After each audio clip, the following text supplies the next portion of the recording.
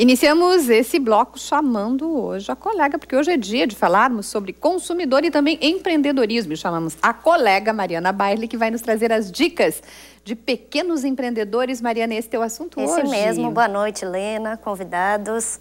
E boa noite você que nos assiste. Pois é, os micro e pequenos empreendedores têm características diferentes das grandes empresas, porque nas grandes empresas os gestores geralmente estão pensando no futuro da empresa, gerenciando o negócio e traçando planos para o futuro. E já na micro e pequena empresa, os sócios têm a característica de estar ali na linha de frente, tratando também das questões operacionais no dia a dia da empresa, participando das rotinas. E por isso é importante que os sócios se conheçam, conheçam um ao outro, as características, uh, onde um é mais forte, os pontos fortes, os pontos fracos, os talentos de cada um, porque isso um complementa o outro. Onde um tem alguma carência, o outro pode suprir essa carência, levando aí a empresa a ter um maior sucesso no futuro. E por isso mesmo, então, se conhecer é importante no caso do micro e pequeno empreendedor. E justamente por essa proximidade, porque justamente são pessoas que já se conhecem há mais tempo, que já trabalham juntas, eventualmente informalmente no mesmo negócio, é importante prestar atenção à questão da amizade, da proximidade. Muitas vezes a amizade é um fator positivo, porque as pessoas acabam se conhecendo melhor, mas é preciso cuidar para que isso não atrapalhe no dia a dia da empresa. Ou seja, saber medir aí até que ponto questões de amizade e a vida pessoal pode estar presente no ambiente de trabalho, separando isso para outros espaços. E mais, pensando aí nessas características gerais, é importante que todos os sócios eles tenham os mesmos objetivos e metas comuns para que não pensem a empresa de forma diferente. Ou seja, qual o segmento que nós queremos seguir, qual o enfoque da empresa, o que queremos para o futuro, queremos expandir para o resto do Brasil, queremos aprofundar em determinado negócio, pensar nessas características, ter as metas comuns para que isso não atrapalhe o futuro da empresa. Então, são pontos como esses, as características das pessoas são fundamentais para que a gente pense o micro e o pequeno empreendedor, Lena. Ok, Mariana, obrigada. Eu volto Valeu amanhã pela dica, mais sim, amanhã, amanhã são mais dicas aos cidadãos e tudo mais. Exato. Tá bom, obrigada, Até amanhã, a gente Lena. continua. Bom, e o papel do Estado e da medicina quando a vida está em risco é o assunto do programa de hoje. Nós estamos recebendo o médico-chefe da Maternidade da Santa Casa, professor da Fundação Faculdade de Ciências e Saúde de Porto Alegre, doutor Antônio Celso Ayub, e o advogado da Comissão de Direitos Humanos da OAB, Rafael Turquenix. Acho que começamos com o senhor, doutor Rafael, sobre quando se envolve questões religiosas, o que, que, o que, que a nossa legislação prevê que as, na questão de direito à vida? Que muitas vezes vai de encontro, né? Vai de encontro. Mudamos então o palavreado, saímos da linha tênue e vamos para de encontro, Sim. né? ou ao encontro. Ah, bem da verdade, o que a própria legislação Que brasileira quais prevê são as, as soluções ao encontro é, para uma é, solução? o né? que a legislação brasileira prevê continua sendo o direito à vida, é o bem maior. Sempre vai ser o bem maior, é o direito à vida. Então, independente da religiosidade, independente da religião, do segmento, ah, do grupo que essa pessoa ou que o cidadão participa, o Estado sempre vai, assim que é necessário, intervir quando observar casos extremos como este que nós falamos, que, é, que ocorreu em Torres. Então, deve haver eh, a- a- o- uma, uma, uma situação extrema para que o Estado venha intervir. Como ele diz, o Estado ele jamais, ou o Poder Judiciário provocado, ele jamais vai, vai intervir ou vai dar agora uma continuidade de intervenções na vida das pessoas. Não, jamais. Isso ocorreu quando se vê que há ah, ah, um direito à vida sendo violado. né? E aí que entra, sim, a questão dos direitos humanos, que não serve apenas para isso, para a defesa da mãe, serve também para a defesa do feto, que tem seus direitos e deveres também, não é verdade? Agora, é, é, falando de outros países também, né, a questão de culturas, né, culturalmente falando, há de se respeitar a cultura de todos os povos. Todavia, esses povos, estando aqui dentro do nosso país, devem respeitar a nossa legislação. Se me permite, Helena, é, dizer de um caso prático, ah, tenho clientes que são da, da- da- dos Emirados Árabes né, e vivem no Brasil já há algum tempo.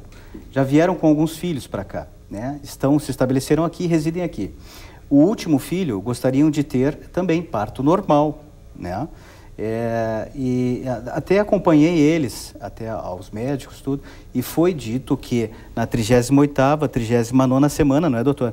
É que seria ideal, então, para para ter o, o fazer a cesárea, né? O parto ah, normal? O, não, a cesariana. Ah, tá, que ela queria fazer cesárea. É, então o que acontece? Ah, eles não queriam, de forma alguma, não aceitaram essa ideia.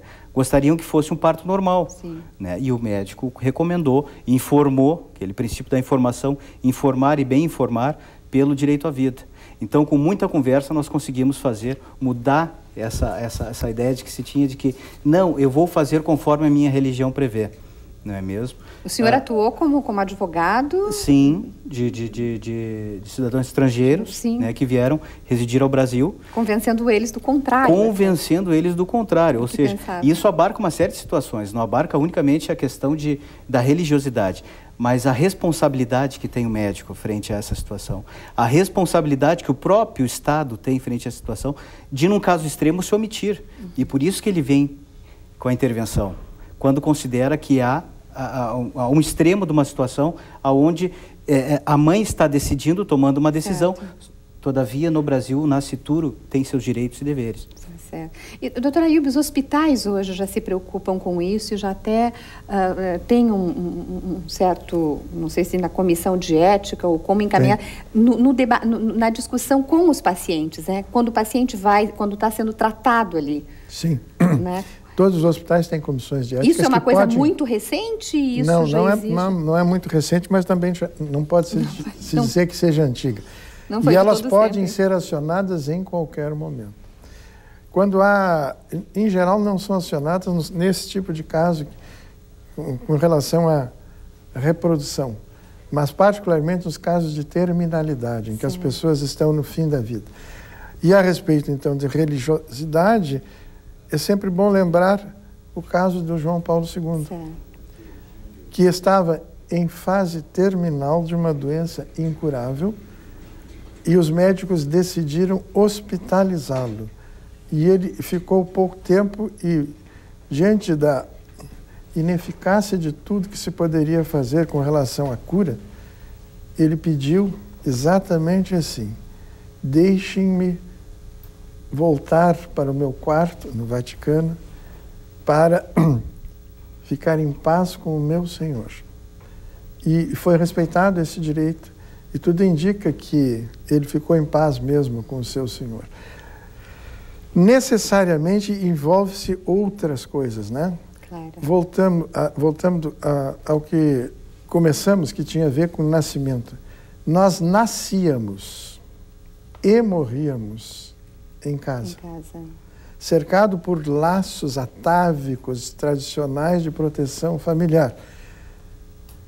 O que, que aconteceu com o progresso médico? Tanto o nascimento como a morte mudaram de palco. Em vez da casa, cercado de familiares e de amigos, passou-se para o hospital, cercado às vezes de frias condutas hospitalares e médicas. E isso é extremamente importante para quem lida com essas pessoas, né, de conseguir trazer para o hospital o ambiente familiar, permitindo, tanto no nascimento como na morte, a intensa participação daquelas pessoas que vão dar o suporte nessas, as pessoas, essas, nessas, nessas fases que realmente se precisa. precisa. E que todos têm que ter preparo até, né? Bom, fica aí para reflexão. Uhum. Né? Nosso tempo acabou, mas fica um bom assunto para reflexão, essa que, é, é, essa que o senhor falou, né? Desse acompanhamento e da importância da família em todos uhum. os momentos, inclusive. Muito obrigada pela vinda de vocês aqui, obrigada a vocês pela audiência essa noite. Lhe desejamos uma boa noite. Amanhã, às 19 horas em ponto, a gente está de volta.